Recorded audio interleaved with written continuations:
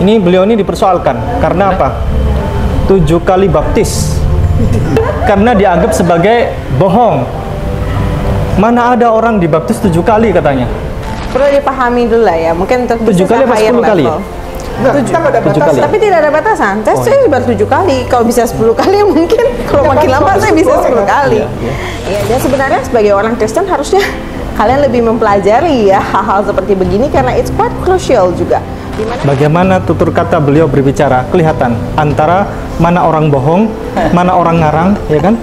Mana orang membuat berita, mana orang eh, mengarang bebas. Kelihatan. Beliau ngomong secara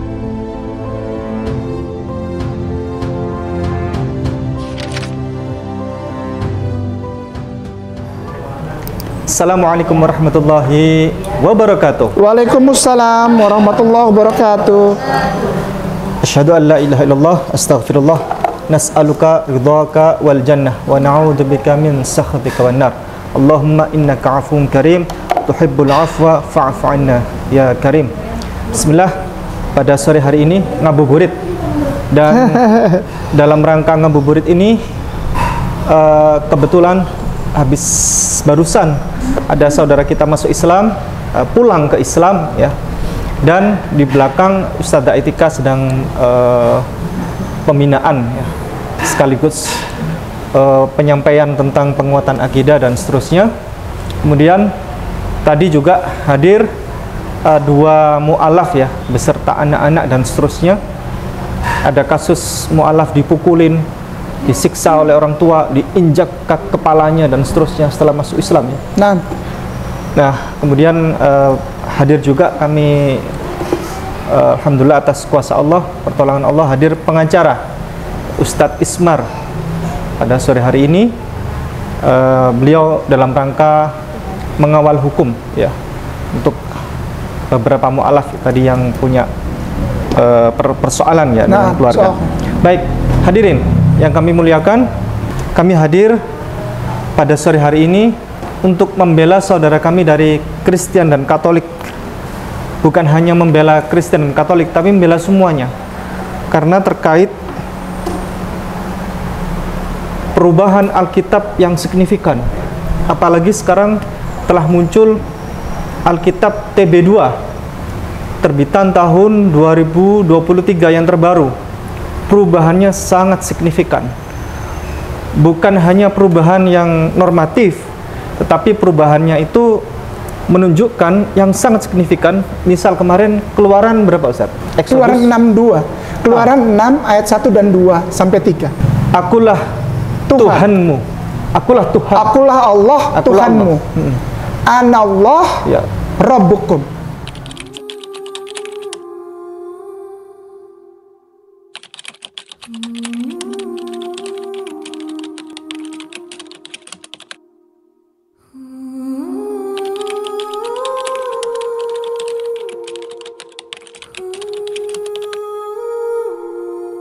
Saya akan tunjukkan Ustadz.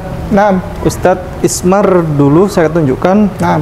eh, dua tawarikh pasalnya 22 ayatnya 2 dua tawarikh. Ayatnya 2 boleh dibacakan Ustadz? Ahasya berumur 22 tahun pada waktu menjadi raja dan selama setahun ia memerintah di Yerusalem. ya umur berapa tadi Ustadz 22 tahun. ya ini Ustadz dibaca Ustadz biar Ustadz yang ayat 2 Ahasya berumur 42 tahun pada waktu ia menjadi raja dan setahun lamanya ia memerintah di Yerusalem. Nama ibunya ialah Atalia, cucu Omri. umur berapa Ustadz tadi Umur 40 tahun, itu 40? 22 tahun. Itu 20 tahun. ini berapa tadi Ustadz 42 tahun. 42 tahun ini berapa tadi Ustadz 20 tahun. 22 tahun Iya. Ini hanya sebagian Ustaz, hanya sebagian. Kalau dibahas ini Ustaz, banyak sekali. Ada yang dipangkas. Baik. Ini Ustaz K dulu yang yang Baik. punya hak. Afwan, afwan. Oke. Ini saksi yang 7 tahun. Ustadz, Ipung boleh buka Al- Alkitab Sabda. Ya. Lukas 10 1. Lukas Lukas 10 nomor 1. Ustadz Ipung coba baca ayatnya. Ya. Lukas 10:1 TB. Ya. TB itu terjemahan baru seperti yang Ustadz Ipung punya ini. Yang itu. Ya, ini. Yang itu. Nanti ini TB2. TB2 belum dimasukkan ke sana. Silakan. Wah, lebih berubah lagi. Silakan. Kemudian daripada itu Tuhan menunjuk 70 murid yang lain. Oke. Lalu mengutus mereka berdua-dua mendahuluinya Ha-ha. ke setiap kota Ha-ha. dan tempat yang hendak dikunjunginya. TL, coba ke bawahnya AYT, AYT. AYT. Ya. Sesudah itu Yesus menetapkan 70 orang pengikut yang lain dan dia mengutus mereka pergi berdua-dua untuk mendahuluinya ke setiap kota dan tempat yang akan dikunjunginya. Oke, sebentar. TL-nya bawahnya? Telnya. Setelah itu, maka Tuhan pun menentukan 70 murid lain pula lalu menyuruhkan mereka itu berdua-dua mendahului dia ke tiap-tiap negeri dan tempat yang ia sendiri hendak singgah. Oke, tiga versi menyatakan 70 orang ya. Ya. Ya. Ah, versi ketiga ini ya eh, itu berasal dari satu versi tertua Ustadz. Namanya versi King James. Ini sumber utamanya, paling tua udah nggak ada lagi. Jadi Alkitab Indonesia semua mengambil ini ayat ini lalu diterjemahkan. Tapi kok sumbernya beda? Silahkan Ustadz baca. Ya. After this, the Lord appointed 72 72 Sumber utamanya bilang 72 diambil di sini diterjemahkan menjadi 70. Yang dua ke mana kan kasihan? Iya. Nah, tapi kalau satu Ginta yang LXX L, L itu 50 XX itu 20 kan Oh itu yang menerjemahkan enggak ada lah. Septuagint itu bukan ayat Lukas 10:1. Ibu Indri, Septuagint itu untuk translasi bahasa Ibrani ke dalam bahasa Yunani oleh 70 orang tua-tua Yahudi yang tinggal di wilayah berbahasa Yunani. Demikian. Kalau ini lain. Di satu kitab 70, di kitab yang lain 72. Tolong di zoom, di zoomkan, boleh dibantu di zoomkan. Ini Ini gimana ini? 72. Oke, yang terakhir Ustadz, yang gampang aja, yang Ustadz Ipung ingat aja. Lukas 24, Ya. Lukas 24 ayat 41 itu yang ikan goreng. Iya. Ini lihat Ustadz, Tuhan dibilang makan ikan goreng. Di satu versi. Di versi yang lain dibilang Tuhan makan ikan bakar. Di versi yang lain Tuhan makan ikan rebus. Di versi yang lain Tuhan makan ikan bercampur madu. Nanti kita lihat. Dan mereka merubah ini dengan sadar, Ustaz Zee. Ya, 24 41 ya. Iya, benar ya? Iya. Tidak mungkin tipu kalau itu kan. Bukan tipu. Bukan tipologi, bukan kan? Bukan tipu, bukan maksudnya Itu kesalahan. juga bisa Ustaz. Apa? Lukas 24 eh, di sini di di ini di Oh, yang iya? hard hard. Lukas 24 24 pasalnya 41. Oh beda juga sudah. Beda. 24 ayat 41. Pantesan orang nggak bisa hafal ya. Eh. Eh, mengapa lama mana 42 afwan. Apa di situ dibilangnya? Di sini ikan bakar. Oh iya. Di situ Di sini Ustadz. Boleh 42-nya? Lalu mereka memberikan kepadanya sepotong ikan goreng. di sini Ustaz. Kalau di sini nomor berapa tadi? 42. 42. 42. Lalu mereka memberikan kepadanya sepotong ikan bakar. Jadi sangat berbeda ya. Iya.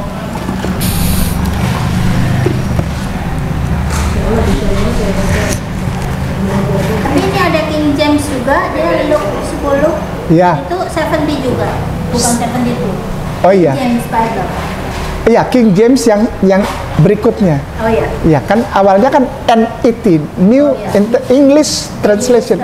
Ah, Memang beda. itu beda. King James balik lagi ke 70. Iya. Terus ada lagi nanti RAV, REV. Ya kan Revised English Version. Terus ada RSV, Revised Standard Version. Terus ada Advent punya, Mormon punya, Jehovah punya. Ap- Tapi kalau Yehova memang dia bawah ya. Kalau Jadi berapa? 70? Ya. 70. Ya, Bagus. seluruh seluruh translation lebih dari 800 bahasa semua 70. 70. Ustadz baca Ustadz. Yohanes pasal 4 ayat 19. Ayat 19. Mana? Pasal Eh, ini ayat 19. Kata perempuan itu kepadanya, Tuhan nyata sekarang padaku bahwa engkau seorang nabi. Oh, Ya. Itu eh, perempuan itu ketemu Yesus. Ya. Kata Yesus, kata perempuan itu kepada Yesus, eh, Tuhan nyata sekarang padaku bahwa engkau seorang nabi. seorang nabi. Ya. Ini Ustaz, baca Ustaz. Kata perempuan itu kepadanya, Tuhan, nyata sekarang padaku bahwa engkau seorang nabi. Tadi apa tadi Ustaz? Disebut apa di sini? Perempuan itu manggil Yesus apa tadi? Tuhan. Tuhan. Tuhan di situ. Iya, iya, iya. Karena yang betul Tuhan. Jadi baru sadar. Tuhan, ini Tuhan. Iya. Baru sadar. Tuhan. Iya. Kemarin kemarin itu. Waduh ini dan ini ini maknanya sangat berbeda. Sangat berbeda. Tuhan dan Tuhan. Iya. Dan sejatinya memang di Alkitab setebal ini nggak ada Yesus Tuhan tuh nggak ada. Nggak ada. Eh, ada satu hal yang mendasar yang ingin disampaikan Tuan Guru yang mulia bahwa hal ini berimbas kepada satu seperti gerakan yang terstruktur sistematis dan masif sekali lagi dari perubahan-perubahan begitu banyak versi dan tahun ya. Jadi bukan cuma versi aja Tuan Guru yang mulia. Ustadz, wal ustazah. Versi ini juga tahunnya setiap tahun berubah. Ustaz, saya tunjukkan. Izin. Ha-ha. Izin. Ha-ha, jadi jadi bukan versi aja tahun Ustaz baca tahunnya ya. berubah, Ini bacanya apa Ustaz? isinya berubah. Ya. Alkitab. Ya. Ini Alkitab. Sama ya? Alkitab. ini Alkitab terjemahan baru edisi 2. sekarang saya bukakan. Ini Lembaga Alkitab Indonesia. ya. Ini Ustaz. Lembaga Alkitab Indonesia. Oh, Sama. Ya. Ini tahun, Tahun 2023. ini tahun 2019. ya. Cuman beda empat tahun. Berubah Ustaz. Ini ternyata setelah se- secara pribadi saya minta maaf Ya. kepada Ustadz Ipung dan Tuan Guru Ustadz. Saya lahir dalam keadaan Kristen dan uh, saya ketika masih Kristen belum belum belum mengucapkan syahadat. Ketika masih Kristen itu melakukan seperti penelusuran Ya. tentang beberapa sebetulnya tidak semua ayat hanya beberapa mungkin hanya puluhan mungkin 20 atau 30 ayat. Dan ternyata yang saya dapati adalah kenyataan bahwa perubahan ini bukan hanya pada versi misalnya versi Inggris ini tadi kita udah buktikan versi bahasa Indonesia ini tidak pada tahun juga Ustadz dan saya urut sejak awal itu cetakan pertama, tulisan pertama jadi bundel seperti ini itu pada tahun 303 antara tahun 331 Masehi sampai 337 Masehi Ustadz. Lalu dibakukan seperti ini pada tahun 1500 tahun, 1500-an pada saat selesainya konferensi. Jadi kitab suci hasil konferensi, maaf ya. Saya rasa ini tidak tidak diedit tidak apa-apa karena ini sejarah ya. Karena ini berdasarkan Ya. sejarah. Ya. Bahwa hasil ini adalah hasil konferensi yang para pemimpin agama Katolik yang namanya Konsili Trente. Konsili di Trent. Kota di Trente pada tahun 1500-an. Berawal dari mana? Dari 331, 337, 381, 451 konsili Kalkedon, konsili Nicea kedua, ketiga. Jadi ini adalah hasil saya mendapati Al-Quran bukan hasil hasil konferensi, bukan hasil muktamar, bukan hasil uh, keputusan rapatkan dirapatkan tidak. Al-Quran adalah murni firman Allah. Pada saat itu ya Ustadz Ipung, mohon maaf, aku berpikir kenapa kitab suci koko adalah hasil hasil musyawarah manusia. Begitu. Sehingga saya menemukan bahwa perubahan ini terjadi tidaklah langsung signifikan seperti yang Ustadz Ipung tunjukkan tadi, melainkan perubahan-perubahan ini adalah terjadi sejak 1700 tahun yang lalu. Dan setelah saya urutkan, mohon maaf, setelah saya urutkan, itu terjadinya secara terstruktur. Karena dimulai dari mana? Dari kepemimpinan yang paling tinggi. Yang memaksa struktur pemerintahan di bawahnya untuk membenarkan ini dari mana? Dari kaisar. Kaisar kepada pembantu kaisar lalu para imam. Yang terjadi sekarang uh, di negara-negara mana pun secara politik. Memaksa imam agama untuk membenarkan keputusan pemerintah yang ternyata berlawanan dengan keagamaan. Udah, itu terstruktur. Lalu sistematis. Sistematis ini Ustaz, sistematis. Jadi terstruktur, sistematis. Kenapa? Masuk di sistem apa? Pendidikan dan pekabaran. Sekali lagi, pendidikan dan pekabaran. Para tuan guru apa uh, agama Katolik zaman dulu yang dikejar. Orang-orang Yahudi yang dikejar. Ayo, kabarkan ini, ajarkan ini, ajarkan ini. Jadi setelah struktur dari pemerintahan melegalkan ini, lalu dipaksa secara sistematis kepada pelaksana agama yang punya kuasa atas agama. Kamu di luar ini, kamu terkutuk dan kamu akan dibakar hidup-hidup atau disalib. Laksanakan. Yang ketiga, masif.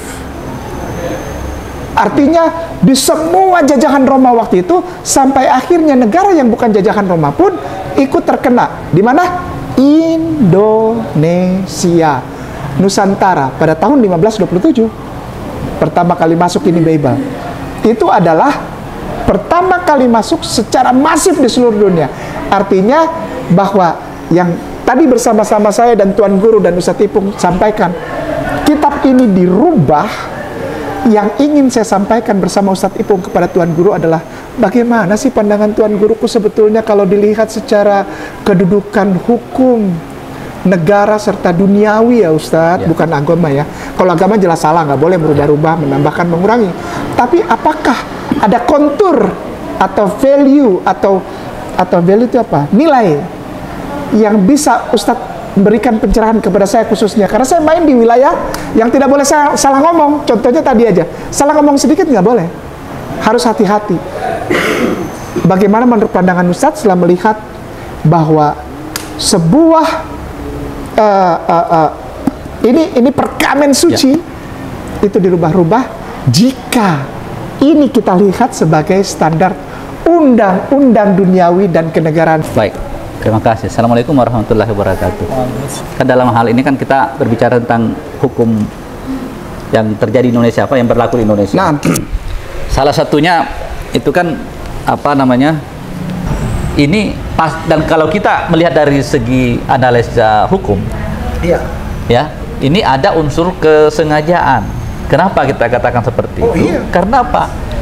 Penerbitnya sama, hanya berbeda tahun. Iya. Berarti kan dia sudah mengetahui betul bahwa contoh tadi yang di pasal berapa itu masalah Tuhan diganti menjadi Tuhan. Tuhan. Padahal maknanya itu sangat besar. Iya. Mengubah sesuatu hal sehingga eh, sang- dan itu sangat substantif, Sangat. sangat substantif. Tuhan dan Tuhan kan jelas sangat berbeda. Sehingga apa? Menyebabkan orang lain salah kaprah dalam menjalankan ibadahnya. Ini kan masalah.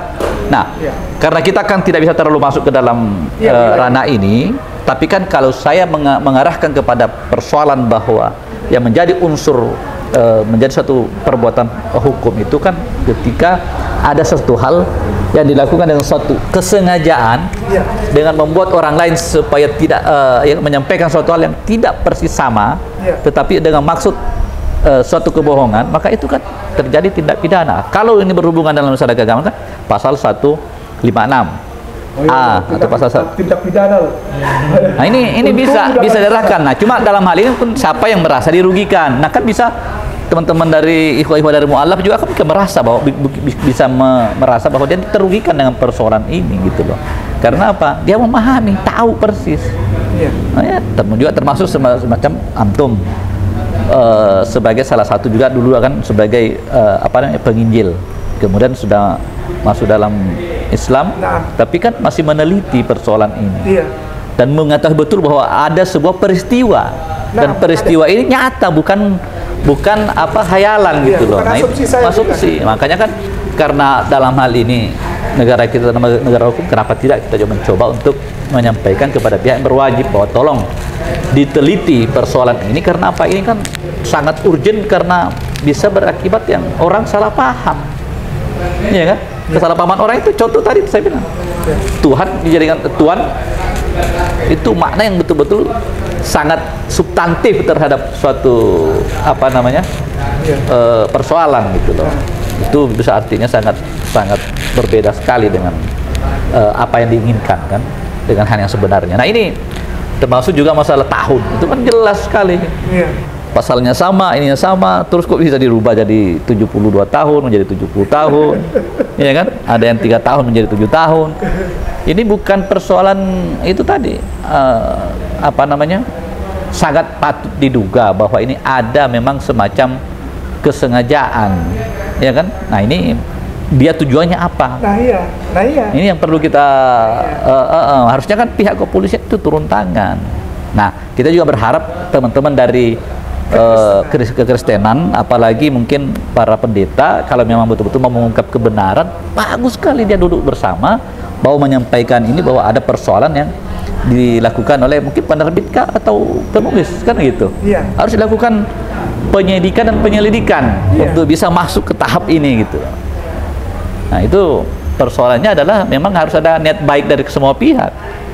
Nah mungkin dari antum juga sebagai seorang peneliti kan bisa saja mem- membuat sebuah Iya. laporan bahwa ada Eh, dugaan. Laporan, ya, dugaan ini Iya. tidak tidaklah bisa kami sampaikan sebagai eh, seorang warga negara Republik Indonesia kepada lembaga keamanannya. Ya. Contohnya kepolisian. Karena apa?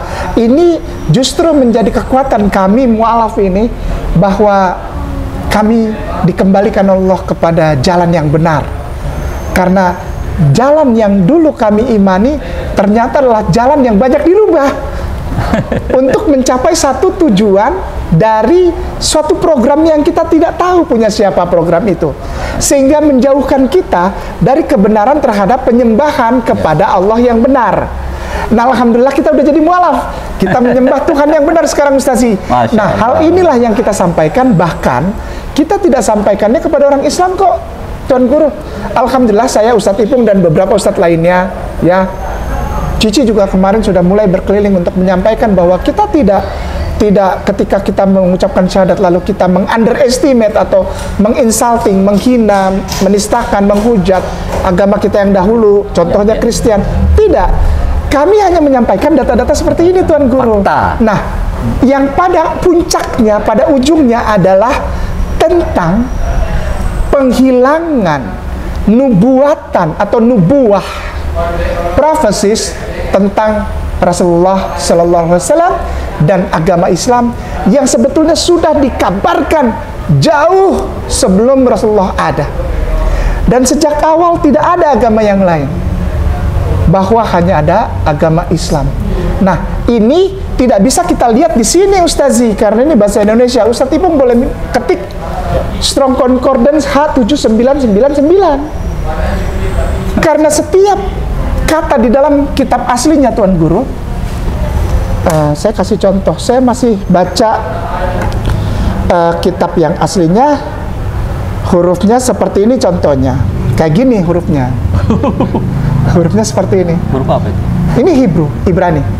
Ya seperti ini, Ustadz Arin. Ini kita baca. Nah di sini ada ada hal yang sebetulnya mendasar sekali. Setiap kata di dalam kitab ini, Tuan Guru, itu ada nomornya. Ini satu kesalahan dari saudara kita ini. Kenapa? Kenapa dikasih nomor? Dia tidak sadar bahwa orang Islam itu sifatnya pengikut sanad, pengurut sanad. Iya, iya. Orang Islam tidak puas hanya cuma- baca saja. Iya. Mengetahui ada Dari perbedaan mana- kayak Ustaz dari mana Ipung. Periwayatannya. Iya, Ustaz Ipung tuh contoh aja. Tadi kan periwayatannya, Iya, iya. tahunnya, siapa yang mengeluarkan, siapa yang bertanggung jawab mener- menerbitkan ini. Orang Islam terbiasa sanad. Sehingga ketemu begini, orang Islam itu langsung cari tahu. Ini bener gak sih di sini nggak ada? Dicari tahu. Ternyata Ustadz eh, itu ada satu eh, Beda juga. kata terdiri dari tiga huruf Ibrani Ustaz sih ini dikasih nomor H799 sebetulnya saya bilang nggak usah kasih nomor nanti ketahuan. Ustadz geser ke bawah cari Brown River Bricks Brown River Bricks Brown River Bricks ada. Uh, Strong Concordance kan ada Strong Concordance lalu ada Brown River Bricks Oke, diterjemahkan baris pertama, kedua, ketiga, keempat, kelima. Masya Allah. Enggak, ya sampai situ aja.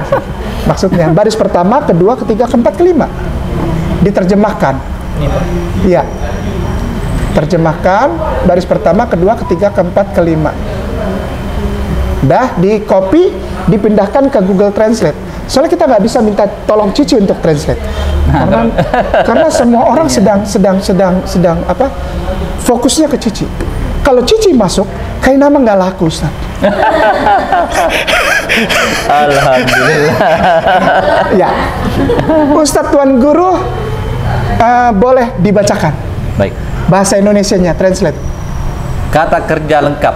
Ya, Bunyi. ya, ID Brani 103. iya, PI lengkap requit.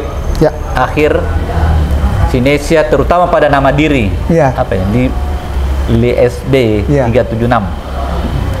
Juga 811 dan sebagainya. Arab 102201 aman, terjamin, bebas dari kesalahan. Menebus, mengundurkan diri, mengundurkan diri atau menyerahkan diri. udah, Ya. udah. Udah. Oh belum belum eh, menyerahkan diri berarti Arabik eh, kurang kurang eh, baris kelimanya belum mm, gitu. Belum, belum masuk. Ya sisa sisa baris kelimanya, baris kelima, baris ke- baris kelima dan sedikit baris keenam sampai ada tulisan Aramaik di situ. Sampai Aramaik. Ada. Ha-ha.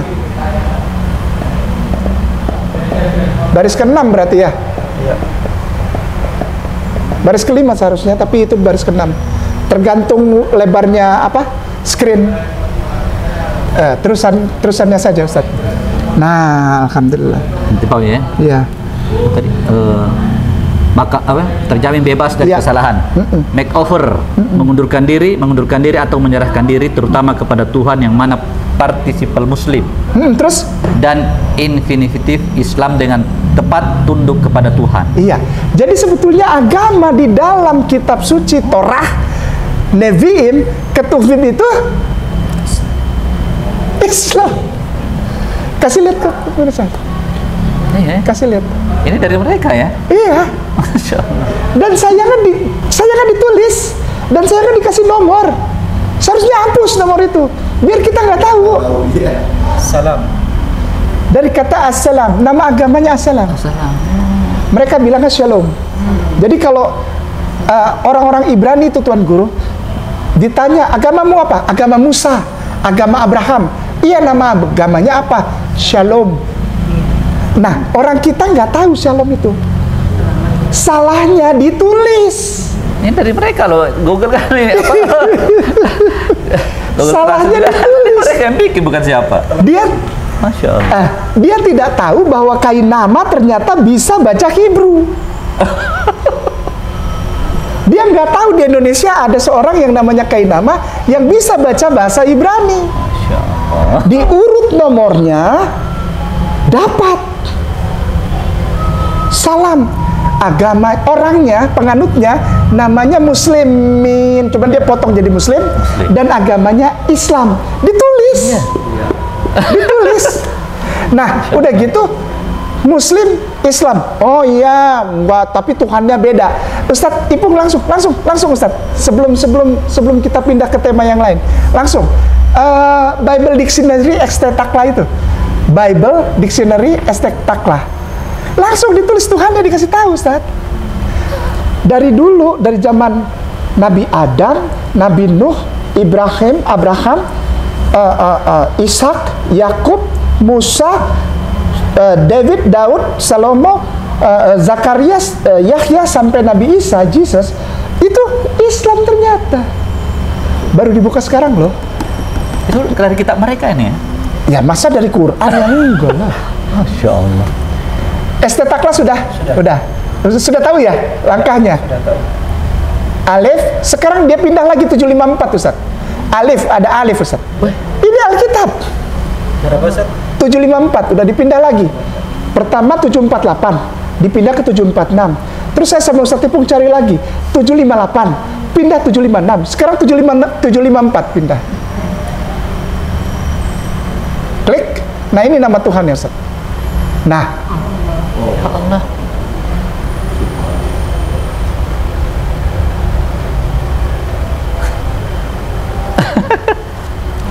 Ah, Akbar. Waduh, ini perlu belajar untuk Masya Allah. silakan Ustaz Tipung. Baik. Alhamdulillah. Ini maghrib kurang berapa menit lagi Ustaz? masih 20 menit. Oh, 15 menit lagi. Minta tolong Cici Jaslin ke sini. Ya. Atau di situ, di situ aja. Ibu-ibu. di situ. Ibu-ibu. Oh, di sini. Ya. Iya. Sini, Cik. Alhamdulillah. Dapat Ustaz Cik. Ini alhamdulillah pada hari ini, sore hari ini kita akan ada kegiatan uh, tahassus yakni uh, Cici Jaslin akan tes uh, akhir semester. bukan, bukan tes akhir semester. Uh, beliau akan mendapatkan summa cum laude pada sore hari ini. Masya Tes sholat ya. Dan hari ini akan ada ya, Allah. serah terima sertifikat ya terima, serah Oh, terima iya. sertifikat Eh, beliau sudah mualaf nanti Eh, akan dites mungkin oleh Ustazah Fatima ya atau Ustazah Etika tentang bacaan sholat gerakan sholat dan seterusnya. Tetapi dipersoalkan. Ini beliau ini dipersoalkan. Karena apa? Tujuh kali baptis. Ini orang Ustaz. iya. Ini dipersoalkan sampai sekarang. Iya. Karena dianggap sebagai bohong. Mana ada orang dibaptis tujuh kali katanya. Iya baik sementara dulu beliau biar beliau yang cerita dulu. Ya. Ya. sebenarnya dulu sudah pernah saya tanyakan tapi nggak puas mungkin jawabannya ya. Tujuh kali baptis itu diapakan sih sebenarnya? Kepada beliau dipersilakan. Ya. Ya nanti. Oke. Ya, assalamualaikum. Untuk pertanyaan, ya untuk pertanyaannya mengenai tujuh kali baptis, uh, retorika pertanyaan kembali, emang ada batasan untuk baptis berapa kali? Pertama itu perlu di perlu dipahami dulu lah ya. Mungkin untuk Tujuh kali apa 10 kali? level. Nah, kita nggak ada Tujuh batasan. kali. Tapi tidak ada batasan. Tes Oh, saya baru tujuh kali. Kalau bisa 10 kali mungkin kalau Ya, makin lama saya bisa 10 sepuluh, kali. Ya, jadi pertama there is no limit. Tidak ada tertulis kita ada mandi limited atau ada peraturan gereja yang menetapkan harus berapa kali baptis atau bagaimana. Karena pembaptisan itu tuh bisa pengesahan pertama. Ada beberapa unsur untuk bisa membapt eh, kenapa orang bisa sampai ikut pembaptisan. Pertama adalah untuk pengesahan misalnya pindah agama akan dibaptis. Itu alasan pertama. Yang kedua tuh ada untuk pengesahan sebagai jemaat tetap. Misalnya Anda berpindah gereja, berpindah gereja dari sinode A menjadi sinode B. Nah, Anda mesti baptis jika Anda ingin menjadi jemaat tetap sebagai pengesahan. Nah, habis itu ada dalam kasus di mana Anda ingin naik misalnya kepada jabatan lebih tinggi, misalnya kepada menjadi pendeta atau misalnya menjadi pengurus yang lebih tinggi, pendoa syafaat ataupun dalam case saya pemusik. Dibaptis, disahkan supaya kita mengerti teori yang dipelajari dalam gereja kita, kita juga mengakui bahwa kita ada jemaat tetap, kita juga menjunjung loyalitas kita terhadap gereja tersebut bahwa sah kita dibaptis oleh gereja tersebut. Seperti kita seperti kependudukan lah, kependudukan selama jika Anda di dalam Indonesia, tapi Anda sebenarnya orang dari Amerika. Anda tidak menyatakan tidak membuat sampai KTP, tidak mendapatkan istilah green card ya kalau di Amerika ya, kalau di Indonesia kita dapatkan KTP ya penduduk tetap. Anda tidak sah sebenarnya. Jadi p- pembaptisan itu ada banyak alasannya dan tidak pernah ada batasan Anda bisa baptis berapa kali. Karena ada ratusan sinode gereja yang berbeda-beda dengan doktrinnya sendiri-sendiri yang juga akan mensupport Anda untuk baptis. Malahan aneh kalau misal eh, Anda berpindah-pindah gereja tapi Anda tidak mau baptis, berarti Anda tidak ada komitmen terhadap gereja tersebut ya. Berarti Anda cuma mau keliling-keliling. Nah, dalam in my case adalah saya pindah, saya menjadi jemaat dan saya mau dibaptis. Dan dibaptis sebenarnya adalah hal yang baik ya. Karena itu ada penguatan iman sebelum pembaptisan itu ada eh, ada pelajaran prabaptis. Prabaptis itu kita ada bimbingan prabaptis seperti apa. Dan sebenarnya sebagai orang Kristen harusnya kalian lebih mempelajari ya hal-hal seperti begini karena it's quite crucial juga. Di mana misalnya Anda juga merasa tahap hidup Anda, Anda perlu bertobat atau keimanan Anda sudah rendah, Anda ingin melakukan pembaptisan ulang, silakan saja. There is nothing wrong about that. Karena setiap tahun sinode-sinode gereja akan melakukannya. Setiap gereja itu punya masa-masa pembaptisan yang Anda boleh membaptis ulang. Jangankan tujuh kali, 30 kali, satu tahun sekali juga nggak apa-apa sebenarnya. Selama Anda tahu apa alasannya, dan memang mungkin Anda yang sering berpindah gereja, atau memang Anda banyak alasan untuk bisa melakukannya. There's nothing wrong about pembaptisan. Coba perhatikan bagaimana tutur kata beliau berbicara kelihatan antara mana orang bohong, mana orang ngarang, ya kan? Mana orang membuat berita, mana orang eh, mengarang bebas. Kelihatan. Beliau ngomong secara lancar begitu eh, baptis mungkin bisa dijelaskan Ustadz K. Coba supaya banyak orang Kristen tidak ngerti baptis. Iya, mungkin Oh iya, deskripsi banyak, banyak. apa itu pembaptisan? Oh baik. Secara Kristen, tapi dilihat dari seorang mualaf gitu. Ya, saya sudah baik ya. Ya. Begini, dari kata baptizo, artinya air lalu sebetulnya, bukan ditenggelamkan itu bukan. Apa gini? Ada yang bilang baptizo itu B A P T I Z O. Eh, nomor konkordansinya G 2871 masih ya masih ada lah ya begitulah ya itu itu ada nomor karena setiap kata ada nomor jadi nomor itu artinya air melalui jadi melalui dari kepala seharusnya sampai kaki oleh sebab itu maka kata baptiso pertama kali ditemukan Ustadz di dalam kitab eh, Lukas dan Yohanes ketika Jesus atau Yeshua HaMashiach atau Isa Al-Masih itu Isa ibnu Maryam itu dipegang kepalanya lalu dicelupkan oleh seorang laki-laki yang diperkirakan tingginya 2,2 meter. Namanya Yohanan atau Yohanes atau Yahya putra Zakaria. Gede ini orang berbulu, tidak makan yang lain selain belalang dan minum madu. Tapi bisa jadi segede gitu badannya. Dan dia memakai bulu eh, hewan sebagai pakaiannya. Dia yang merendam Jesus. Jesus diperkirakan tingginya antara 182 sampai 185 cm. Apa? Meter.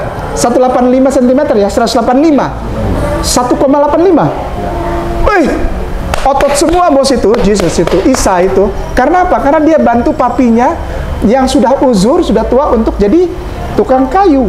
Dia pikul itu dibilang log, LOG itu log itu. Apa gelondongan kayu dia pikul, lalu dia pahat semua itu. Wah, wah saya jadi jadi gimana? ya? Saya tuh kalau cerita Jesus saya semangat. Karena saya seperti masuk ke dalam kehidupan dia gitu. Nah, baptiso itu B A P T I Z O. Art, kenapa dia direndam? Karena sungai Yordan itu ngalir, Ustaz. Seharusnya baptisan itu mestinya pakai selang blambir. Apa selang? Apa maksudnya apa? Pemadam. Dikucur dari atas, dia melalui seluruh. Jadi setiap tetes itu apa? Baptiso itu pass by the water. Water pass. Water. Water. Kalau orang orang apa Inggris tapi slangnya Nigerian. Nigerian. You are baptized with uh, water under your body and soul brother. Gitu kan? Water. With the water brother. Gitu kan? Kayak gitu kayak negro-negro ngomong kan gitu. Bener mereka kenapa? Karena seharusnya air itu terus gitu tuh jadi nggak bukan direndam kayak masuk ke kolam terus gini kan nih nih gini nih gini ke belakang eh, tuh, Iya. pernah tuh.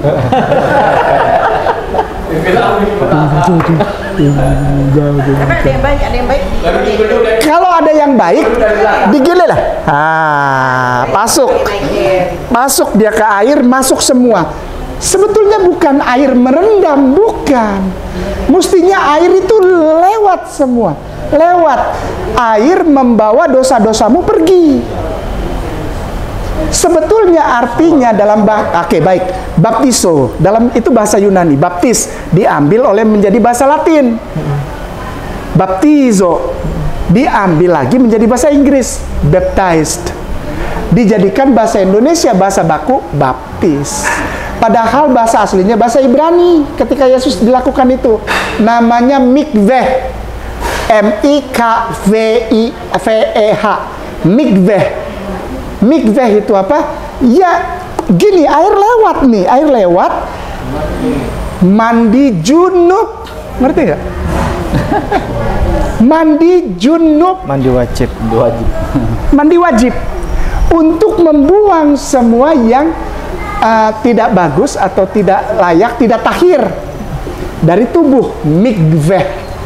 Air lewat, tapi apa seperti gini. Uh, ada kalau orang wudhu, ada di kuku-kukunya tuh ada itu. Ketika itu dibersihkan, kukunya jatuh. Apa kotoran kukunya jatuh? Atau kotoran kotoran hidungnya jatuh keluar. Nah itu, jadi anggap aja itu adalah kejahatan kita atau dosa kita dibuang. Nah mikveh, baik. Nah mikveh oleh orang Ibrani dibilang yada yamin kalau untuk masuk rumah ibadah. Jadi ada dua dua baptis. Baptis pertama yang tadi yang mandi junub, mandi besar, mandi mandi hadas besar. Uh, nawaitu gusla linafil hadasi akbari lillahi ta'ala gusla linafil fadra apa akbar Ah, jadi ah, sesuatu yang besar gitu.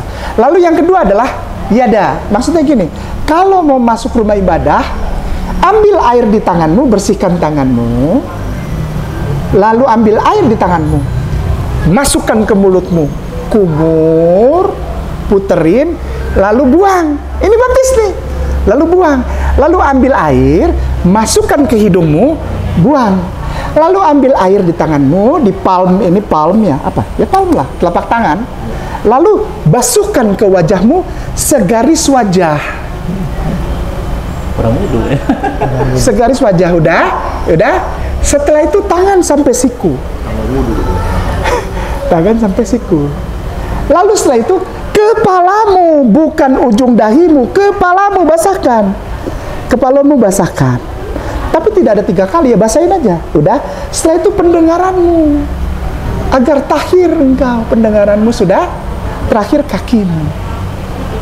Masuklah ke bait Tuhan, ke bait Allah, bait kudusmu. Jika tidak engkau lalui itu dengan air, maka engkau akan mati. Keluaran pasal 30 ayat 20. Demikian Ustaz. Eh, saya nanya ke Cici. Eh, kalau Yesus dibaptis oleh Yohanes, itu berarti Yesus itu dibaptis sebagai Tuhan atau dibaptis sebagai pengikutnya Yohanes atau karena Yesus punya dosa dibaptis? Sebenarnya untuk pembaptisan tuh kalau kita lihat mungkin Iya. lebih tepat dikatakan Yesus dibaptis sebagai manusia ya, 100% manusia karena kan pembaptisan itu seperti yang Ustaz nama ada bilang itu seperti penyucian, pembersihan, barang-barang kotor dibersihkan, dosa dan lain-lain. Dan pada saat kondisi Yesus dibaptis, Yesus posisinya adalah 100% manusia. Kan dan jika dia Tuhan, tidak mungkin Yohanes punya hak untuk membaptis Tuhan. Yohanes hanya manusia, nggak bisa baptis Tuhan. Berarti hanya membaptis Tuhan dan seperti menser istilahnya menggarisbawahi bahwa memang Yesus ada dosa karena pembaptisan itu untuk membersihkan dosa, membersihkan diri kita kembali. Begitu pernyataannya. Oh gitu. Berarti Yesus Pertanyaannya, kenapa Yesus sebagai manusia dibaptis? Memang dia Iya. harus dosa? Iya tadi Udah dijawab iya, tadi, Abang. dari jawab. Tapi eh, Bapak para pendeta itu bilang begini. Kemungkinan ada kemungkinan Yesus Kristus itu dibaptis oleh Yohanes karena dia menghormati Yohanes dan dia ikut sebagai member dari Yohanes itu. Tapi kan itu itu akan bertolak belakang kepada kodrat Yesus Kristus sebagai Tuhan.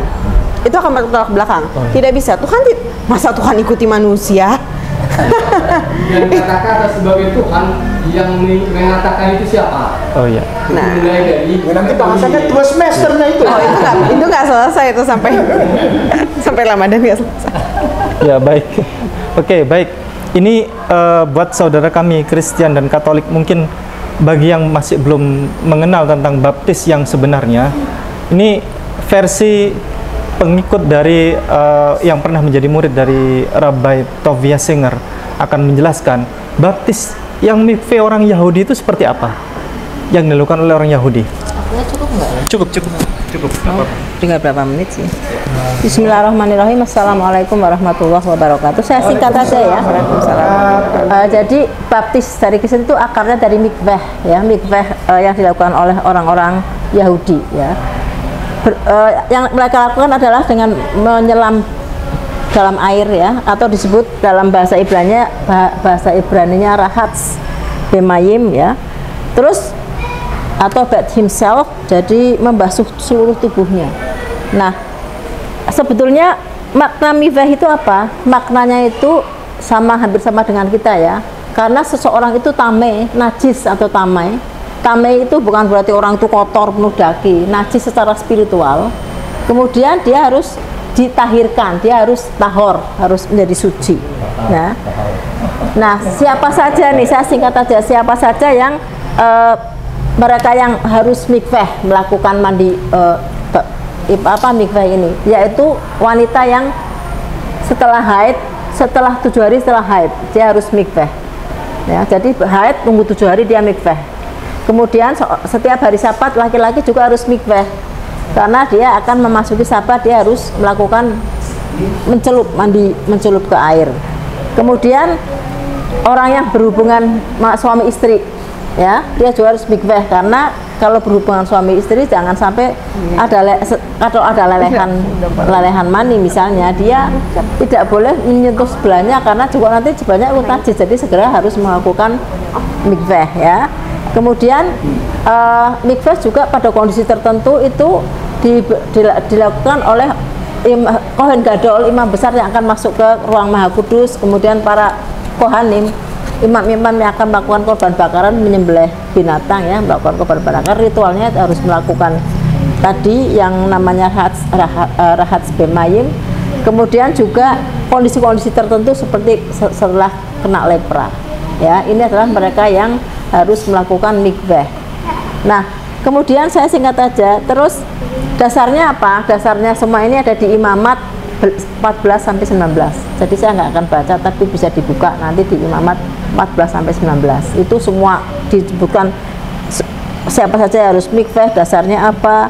Kemudian syarat-syarat mikveh ini apa? Syaratnya ini sebetulnya harus uh, mayim hail mayim hail itu artinya harus air yang hidup.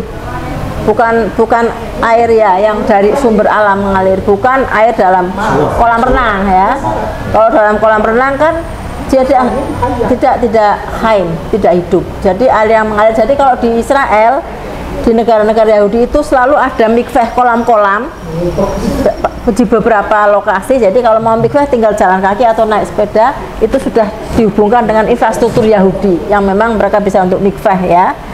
Kecuali yang perempuan agak tertutup kan. Kalau syarat yang kedua untuk mikveh adalah dia harus telanjang bulat ya telanjang bulat bukan telanjang persegi nggak boleh ya. Bu Indri nggak boleh telanjang persegi harus telanjang bulat Tapi melakukannya sendiri. ya melakukannya Ya. sendiri. Artinya begini Di dalam kamar sebelum mandi. dia dicelupkan mencelupkan diri itu dia harus bersih dulu.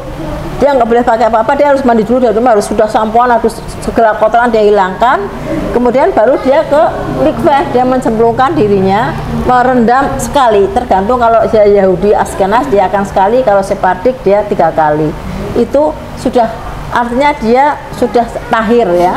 Kalau yang detailnya nanti tidak akan saya bahas karena terlalu panjang. Nah caranya seperti itu cara baptis jadi mikveh ini sebetulnya kalau dalam Islam mirip sekali dengan mandi besar ya, Ya, berarti Atau- mikveh itu dilakukan oleh orang Yahudi sekali seumur hidup atau berkali-kali. Eh, kalau orang kalau kalau yang namanya wanita tiap bulan harus mikveh kalau laki-laki tiap sabat dan tiap berhubungan badan dengan perempuan ya harus mikveh gitu Perempuannya juga harus mikveh harus juga. jadi mikveh itu berkali-kali dan lebih banyak laki-laki daripada perempuan. Kalau kalau wanita Yahudi begitu haid sampai tujuh hari setelah haid itu nggak boleh tidur dengan suami, nggak boleh campur. Dia boleh kumpul setelah dia mikveh, baru tidur satu ranjang lagi. Jadi paling nggak dua minggu tidur sendiri, dua minggu dengan suami. Begitu. Itu sudah aturannya. Demikian. Ya, Yang sedangkan untuk Ya. sebelum se- mereka net, neti, apa tefili, tefilah ya sembahyang mereka ada namanya netilat hadayim mencuci tangan namanya hadayim. Ya. Itulah sekilas tentang mikvah. Jadi se- sekilas saja saya nggak akan banyak-banyak. Kapan-kapan ya. kita akan sekolah khusus tentang mikveh ya. Eh, mudah-mudahan yang belum tahu tentang baptis segera bertobat. Ya. Ustadz Ki akan menutup dengan eh, strong concordance. Strong ketik strong concordance Ya. G 907 sekali lagi G 907 artinya baptis apa? Yang kasih tahu siapa? Bible Ustadz Ipung langsung Pemirsaku sayang, muslimin wal muslimah rahimakumullah, terutama saudaraku sayang Kristen Katolik, terutama para YouTuber yang mengaku dirinya apologet Kristen. Stop, stop, jangan so tahu. Baca lagi Biblemu, terutama bahasa Ibrani dan bahasa Yunani. Lalu lalu kunci dengan bahasa Latin. Kalau kau tidak ngerti bahasa Latin, cari Bible bahasa Belanda atau Inggris. Karena kalau yang ini tadi kita udah buktikan bahwa ini banyak yang aneh-aneh. G907 strong strong definition di blog terjemahkan kita dengarkan kata Ustadz Ipu berdasarkan Bible jangan so tahu baptiso itu apa. Nggak tahu mikveh nggak tahu uh, mayim ham, ha- hayim atau air hidup nggak tahu. Tapi ngomong. Ya. Ya. sudah di sudah diterjemahkan? Yang mananya? strong definition. Cari ke bawah. Strong definition. Tuh tuh. Strong info show strong info. Ini nih klik. Ya. Nah ini terjemahkan. Ya. sudah. Baca yang keras dengar baik-baik saudaraku sayang muslimin wal muslimah rahimakumullah dan saudaraku Kristen. Silakan Ustadz Ipung. Baptiso artinya apa baptiso? Eh, baptizo dari turunan G911 untuk membenamkan, menenggelamkan, untuk membuat welmet dalam kurung yaitu eh, basah sepenuhnya, tutup kurung, hanya digunakan dalam perjanjian baru untuk upacara wudhu khususnya untuk upacara wudhu. Sekali lagi Ustaz untuk upacara wudhu. Khususnya secara teknis tata cara baptisan Kristen eh, membaptis membaptis mencuci. Ini. dulu. mohon dibantu di zoomkan wudhu. Saya sebelum wudhu itu kan harus mandi janabah dulu, mandi, mandi besar. iya. Jadi baptis itu sebenarnya ya menghilangkan hadas dari hadas kecil dan hadas besar. Ya. ya wudhu dan mandi besar. Dan kami umat Islam itu melakukannya seperti para nabi dan rasul melakukan baptis. Ya. kami setiap hari dibaptis wudhu dan mandi besar. Demikian. Barakallahu fikum. Jazakumullah khairan katsira. Assalamualaikum warahmatullahi wabarakatuh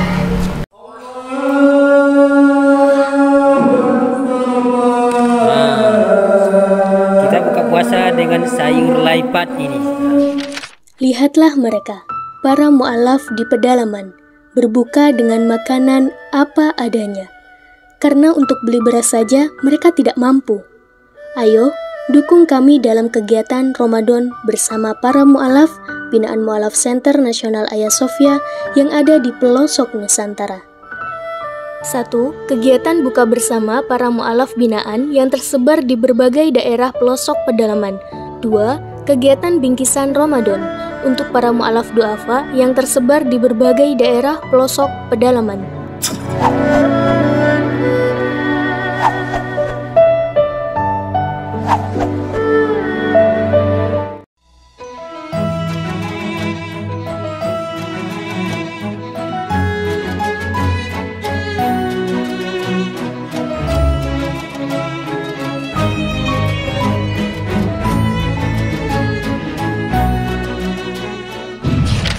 Setiap muslim harus memiliki bekal ilmu kristologi untuk membentengi diri dan keluarga serta untuk berdakwah.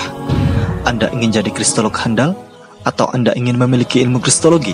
Kunjungi kristologinews.com, pusat karya monumental Ustadz Insan LS Mokoginta.